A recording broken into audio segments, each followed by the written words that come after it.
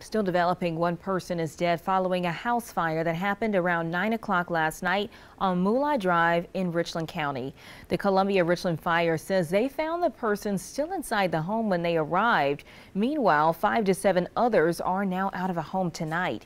The cause of the blaze remains under investigation, and today we spoke with one neighbor who saw part of the fire. I live across the street from this property. I came home last night, about 15 minutes after getting home. I was in the house eating and I heard a boom. I looked out my window and I saw this house over here engulfed in flames. This house holds a lot of memories and it's to me it's a landmark, it's a Columbia landmark because the fabulous Moolah, she used to train here. She was a famous wrestler from the 70s.